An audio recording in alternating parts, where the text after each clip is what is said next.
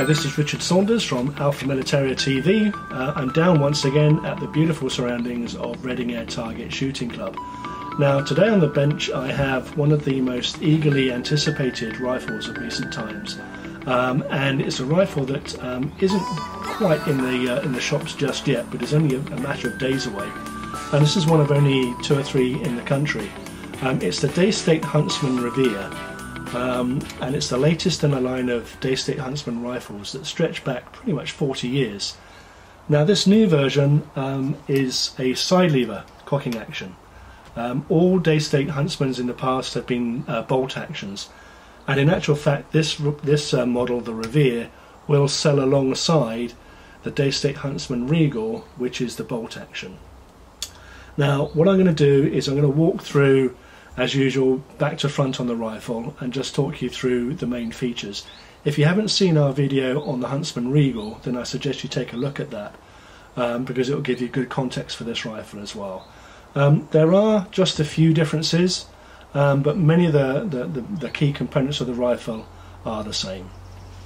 Right, starting at the back, we have this uh, perforated rubber uh, shoulder pad um, it's not adjustable, it doesn't go up and down or side to side or anything like that, um, but it's very comfortable in the shoulder because it's nice and sort of squishy.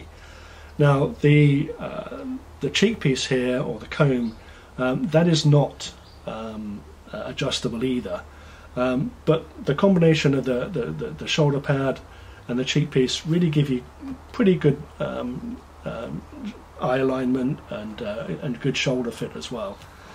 Um, the pistol grip, uh, I should say the stock on this is exactly the same as the Huntsman Regal. Um, it's a, a, Minelli stock uh, from Italy, um, walnut, beautiful, beautiful stock. Um, the pistol grip is uh, has some very nice checkering. It's quite a slender pistol grip, um, but is swollen in all the right places. Um, there's a, a, thumb shelf up here uh, for those of you who like to shoot uh, with your thumb up. If you prefer to wrap your, your thumb around, that's not a problem either. Uh, the trigger itself is has a nice broad, uh, broad blade. Um, it's two stages uh, and is fully adjustable as well.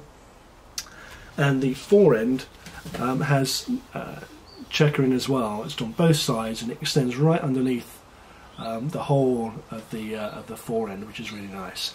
Now you've got a couple of gauges on um, on the Revere. Uh, this one underneath here tells you what the regulator pressure is and the one right on the end here tells you what the overall fill pressure is.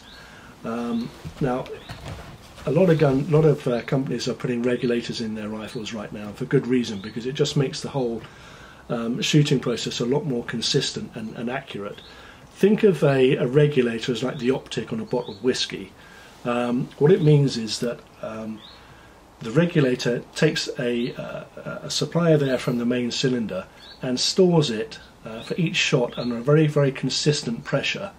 Uh, and so there's a consistent pressure of, of air and a consistent volume of air each shot, regardless of the fill pressure and the amount of air in your main cylinder. And that means that you get more shots per, per fill and also they're more consistent in terms of velocity. Right, there's a safety catch at the top of the rifle here, the top of the action. As you can probably hear, it's quite sort of snicky, snicky on and off. You can operate it silently though, uh, which will please hunters. And it has a red dot uh, to show you, um, you know, when, when the rifle is in a live fire position. The, uh, the rifle overall, I think it's about 925 millimeters, something like that long, um, without a silencer. The barrel is a 17 inch Lothar Walther barrel. Um, it's a match grade barrel, very good barrel uh, and is fully shrouded but you'll probably want to put a silencer um, on the rifle um, and there's a half inch UNF thread uh, which is accessed by um, removing this uh, this cap on the end um, to expose that because without it uh, it's got quite a bark like a lot of rifles have. Now the main differences uh, between um, this, the Huntsman Revere and the Huntsman Regal is not only the side lever cocking action, which is smooth as silk, I have to say, it really is. It's a one finger operation um, and it's just mechanical enough to make you realise that you're operating a piece of uh, a piece of engineering. The other difference is the magazine, and we'll talk about the magazine um, in a little bit more detail in a while. But the main difference is it has this uh, gated sort of uh, hinged door on the front um, to expose the, the chambers for the pellets. So we'll talk about that in a little while. Now the other um, key difference on this rifle is the fact that um, the breech uh, no longer is required to do uh, any indexing um, for the magazine. Um, on the old Huntsman Regal, the magazine, the old magazine, um, had to be indexed by the breech mechanism itself. On this new magazine, the magazine itself is self in, uh, self indexing, so that means the breech no longer has to do that. So it's a different design of breech. Now, just on the magazine topic, um, and bear with me because this gets a little bit complicated, but basically, this magazine um, will work, or the new style magazine will work with any of the current range of Daystate rifles. Uh, so the Wolverine, Wolverine 2, the Red Wolf, uh, the Renegade, the Pulsar. Uh, the magazine will work with all of those rifles.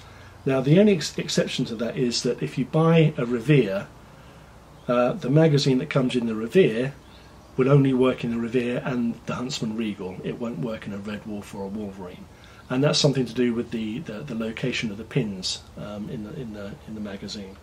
Um, and the other thing is that the old style magazines uh, won't work in this, so only this new magazine will work in the in the Revere. Right, filling the uh, the Huntsman Revere is the same as with uh, the Huntsman Regal. Um, as part of your pack, you'll get this uh, this fill probe, which is this bronze goldy colour piece here. Um, this adapter um, it comes separately, um, but there's a collar on the very front of the cylinder here, and if you revolve that round, you'll reveal the fill port. So the probe simply fills into that port. Attach your air supply to that. Then fill up to in this particular uh, case 250 bar.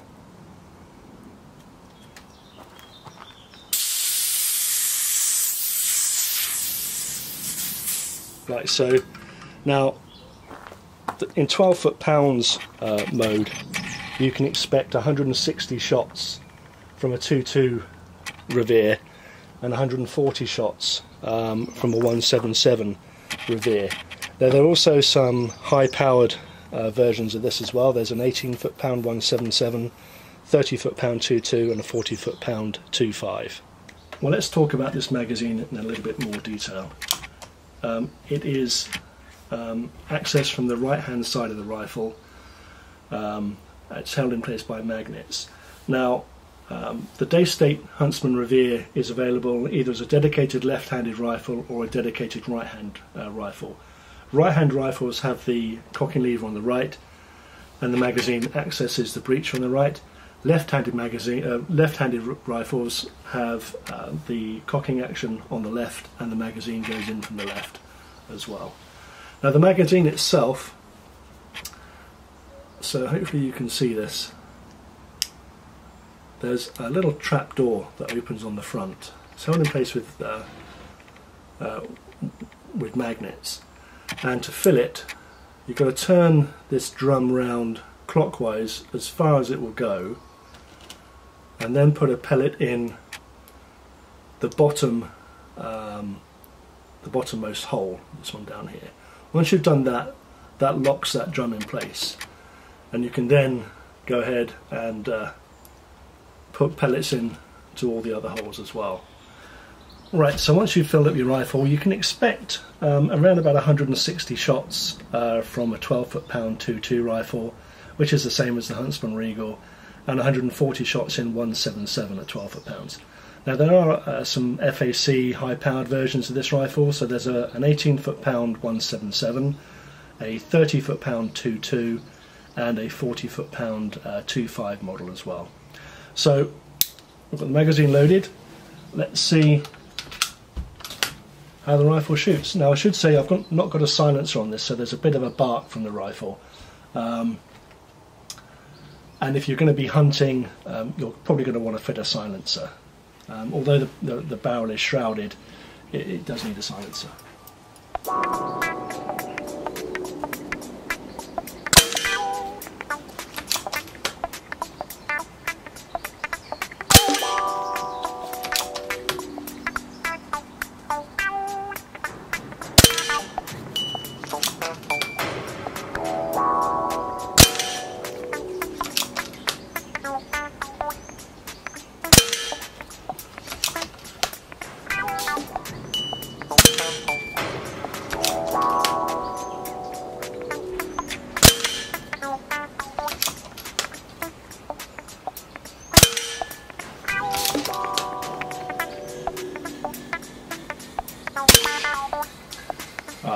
You always always lose count, don't you?